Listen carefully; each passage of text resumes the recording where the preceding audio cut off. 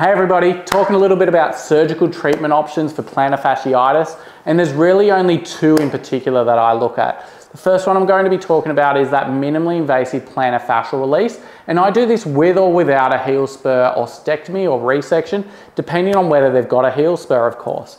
Now, a lot of the time, um, these are patients that have got chronic heel pain, um, and I really like that minimally invasive um, fluoroscopy or x-ray um, guided um, release of the plantar fascia and removal of the heel spur that's there. And probably nine out of 10 of the patients that I'm seeing um, that go to surgery do have a heel spur as well. Uh, and when we're doing this procedure, it's really rewarding to be able to see straight away that we've got that release or total release of the plantar fascia and that removal of the spur that we can see on x-ray straight away.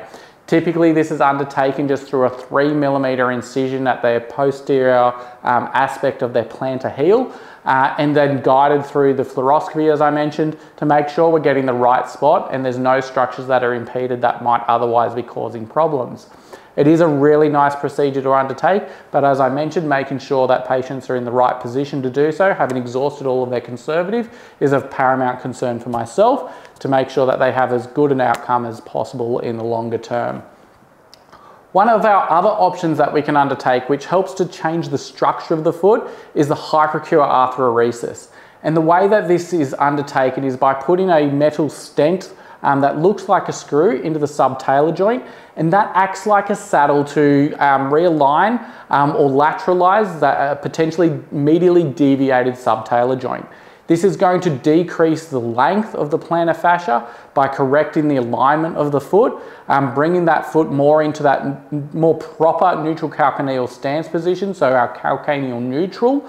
Um, and through our subtalar joint, it is going to be um, something that I found can be really quite effective to unload some of that rear foot right through to the um, forefoot and the pain and stress associated with it. Particularly I use this for patients that have also got maybe a mild bunion, they might have a bit of knee pain, back pain um, associated with how they're walking. Um, and it's just something that I can say, okay, we're going to do both these options to make sure that our patient's in the best longer term um, position for a full recovery.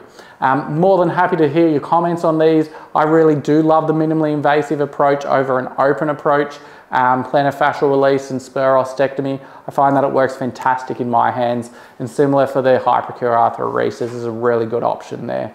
But in the meantime, if you like what you're seeing, hit the subscribe button, have a bit of a look at some of our other videos and we'll talk to you in the next session. Cheers.